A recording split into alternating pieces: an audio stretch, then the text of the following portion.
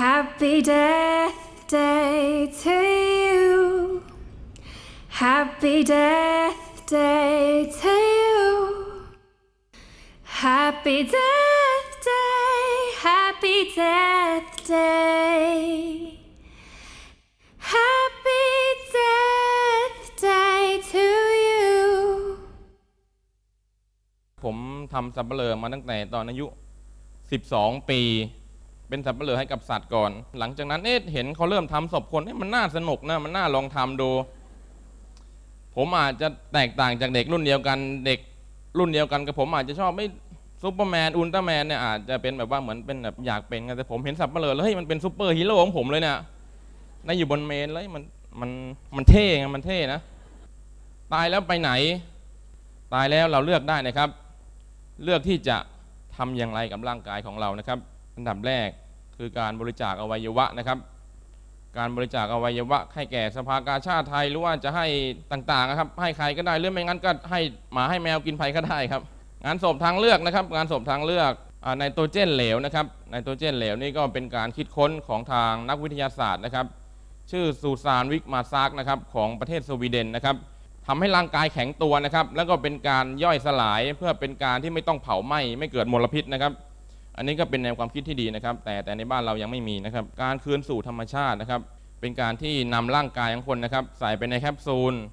แล้วก็ฝังแล้วก็ปลูกต้นไม้ทับนะครับ อันนี้อย่างนี้ก็ดีนะครับ เป็นปุ๋ยธรรมชาติให้แรงจิกกินนะครับ อันนี้จะเป็นของจากทิเบตนะครับ อันนี้บนยอดเขา จะลองทำก็ได้นะครับ ผมยินดีนะครับ ท่านใดจะสละให้เจ็ดสิ่งที่จะเกิดขึ้นหลังจากคุณตายนะครับ แต่งศพนะครับ ประสบอุบัติเหตุรถชน กระโหลกศีรษะยุบแขนขาดบางทีท้องแตกก็มีนะครับ อาจจะมีกระโหลกแตกเราก็ต้องเย็บเย็บเย็บเย็บเย็บเย็บเย็บกระดูกส่วนไหนที่หักเราก็ต้องยัดกลับสภาพเดิมนะครับ คือให้กลับมาเป็นสภาพเดิมมากที่สุดนะครับ หลังจากที่เราเย็บศพเรียบร้อยแล้ว เราก็ต้องนำศพเนี่ยอาบน้ำนะครับ เราต้องอาบน้ำให้เรียบร้อย ฟอกสบู่สระผม ตัดเล็บโกนหนวดโกนเขาทุกอย่างให้เอี่ยมนะครับแล้วเราก็จะแต่งหน้าศพ คือผมก็จะมีทีมงานนะครับ มีทีมงานคือคอยแต่งหน้าศพ ขั้นตอนต่อไปก็คือขั้นตอนการมัตราสังนะครับ การมัตราสังเนี่ยถ้าถามว่าในสังคมปัจจุบันในในสังคมเมืองอาจจะไม่ค่อยพบเห็นนะครับนำศพใส่โลง ถ้าเป็นประเพณีของทางภาคกลางที่บ้านผมนะครับ การนำศพใส่โลงเนี่ยก็จะมีใบตองสามใบ บันไดสามขั้นหนามหวายสามกิ่ง บางคนอาจจะสงสัย เอ๊ะทำไมต้องเอาหนามไปลอง ต้องทำอะไร คนตายไม่ทรมานเขาเหรอ การเอาหนามหวายไปลองเนี่ย ในสมัยโบราณ หมายความว่าเวลาที่คนตายแล้วเนี่ย อาจจะยังไม่ตายจริง อาจจะแค่สลบไปนะครับสลบไปเฉยๆหนามทิ่มหลังอ้าวสะดุ้งตื่นมานะครับ ไม่ตายนะครับ ถ้าไม่มีหนามรองนะครับ เผานะครับ เผาแล้วไม่รอดนะครับ ตายอย่างเดียว เอาใบตองรองสามใบเพื่อป้องกันไม่ให้น้ำเหลืองไหลลงมานะครับบันไดสามขั้นนี่เราจะวางไว้บริเวณของปลายเท้าที่เราจะศพบรรจุไปในโลงให้ข้ามพ้นกฎของไตรลักษณ์คืออนิจจังทุกขังอนัตตานะครับ การสวดพระอภิธรรมนะครับในช่วงนี้ก็จะเป็นช่วงของพิธีกรรม ไปเคาะให้พ่อให้แม่ฟังพระสวดนะ ปริศนาธรรมทั้งหมดในงานศพเนี่ยคือการเอากับข้าวไปตั้งไว้ข้างโลงเนี่ยเป็นการสอนให้เห็นว่าโตให้เอากับข้าวชั้นดีขนาดไหน ไปวางไว้ข้างโลงคนตายในโลงก็ไม่สามารถที่จะลุกขึ้นมาทานอาหารนั้นได้ คนโบราณท่านเลยสอนไว้ว่า เมื่อตอนที่พ่อแม่ยังมีชีวิตอยู่ ให้รู้จักเลี้ยงท่าน ดูแลท่าน ไม่ใช่ตอนตายไปเขย่าให้โลงพังนี่ครับพ่อแม่ก็ไม่ลุกออกมากินข้าวแล้วใช่ไหม พ่อฟังพระนะก็ก็ก็แม่ฟังพระนะ คนตายไม่ลุกหรอกครับ ใครก็จะลุกมา ถ้าลุกพระที่สวดก็ไม่อยู่ครับ